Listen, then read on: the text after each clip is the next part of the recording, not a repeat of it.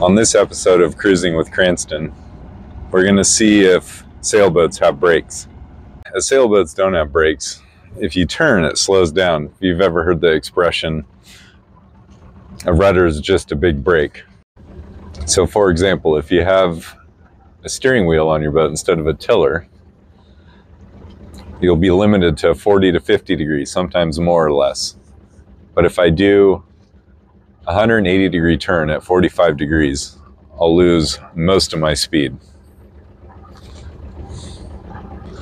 It's not quite as sharp as a turn as this boat can do on the tiller hard over, but still, I come out of the corner with half of my speed gone.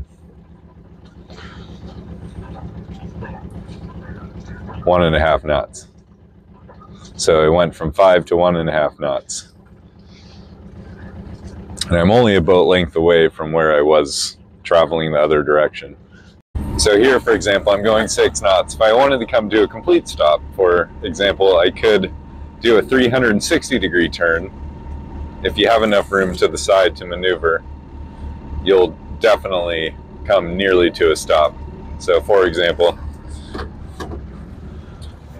helm's hard over.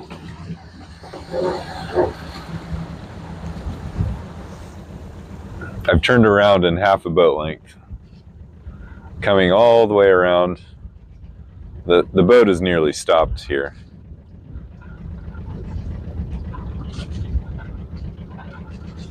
And right here is 360 degree turn. I'm not moving at all. Okay, I'm gonna do one more 360 degree turn at 70 degrees rudder.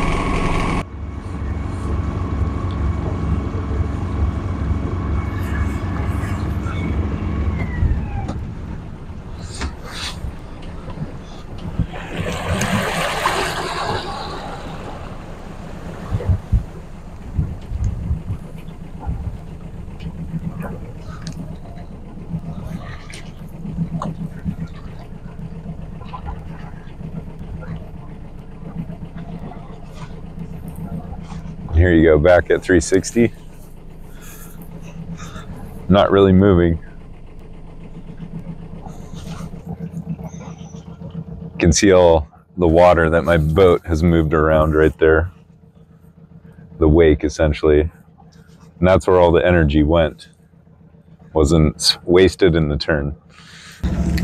Okay, so now I'm gonna do five knots and see how long it takes just by putting it in reverse.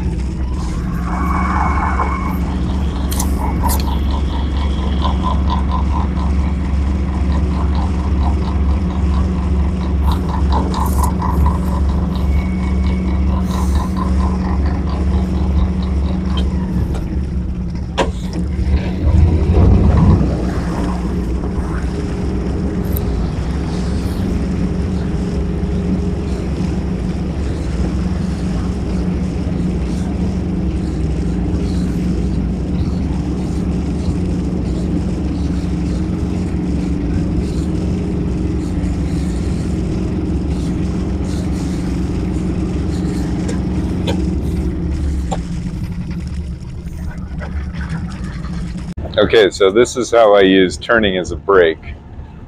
I'm coming into uh, a slip here. I'm going to park. I'm going at it at five knots. And at the very last second, I'm going to hard over, do a 180 degree turn and put it in reverse.